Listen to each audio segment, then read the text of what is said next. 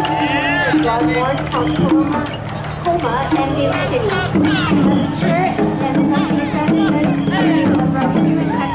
he brings experience to the city's ongoing debate on tax reform, given his the reporter of San Francisco. Assemblyman Ting co-chairs the San Francisco Advisory Board for China.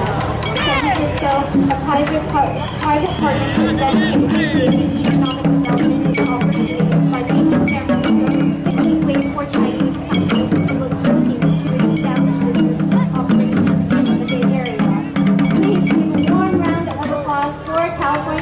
Assemblyman Bill.